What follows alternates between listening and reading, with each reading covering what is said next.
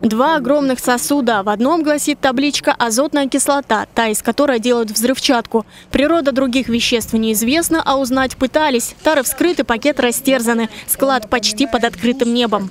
Здесь стоял э, такая мензурка большая на литр э, с темно-коричневой жидкостью. Я ее просто взял подержать в руках. То есть даже к самой жидкости не прикасался. Просто она испарялась. Запах был такой фенольный. У меня потом трое суток руки пахли вот этим запахом. Я не мог ничем отмыть. То есть представляете, насколько едкое и въедливое вещество. Евгений – биолог. В детстве жил неподалеку отсюда и уверен, это помещение комбината химволокна, производства которого нет уже 13 лет. Кирпичную консервацию склада сломали сталкеры, с тех пор в оконные проемы пытаются попасть все любопытные, и в особенности дети. Химическую свалку едва ли не растаскивают. Барнаулец уже обращался в Краевой Минприроды. Ответ удивил. Склад, оказывается, неприступен, хотя что там содержится, чиновники не знают. После этого Евгений внес хранилище на интерактивную карту несанкционированных свалок Общероссийского народного фронта. Есть специальные органы, да, которые отбирают пробы, производят анализ.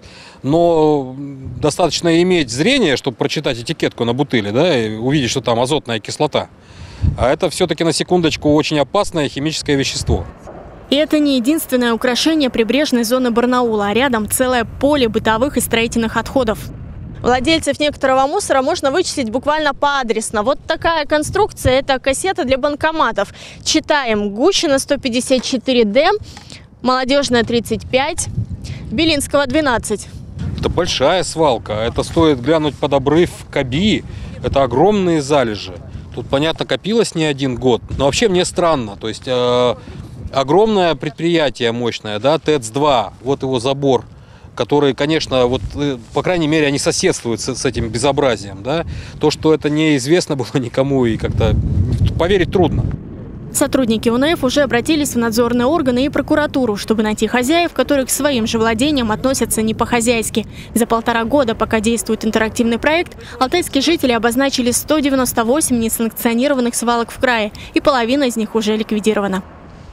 Анастасия Дороган, Николай Шелко. Наши новости.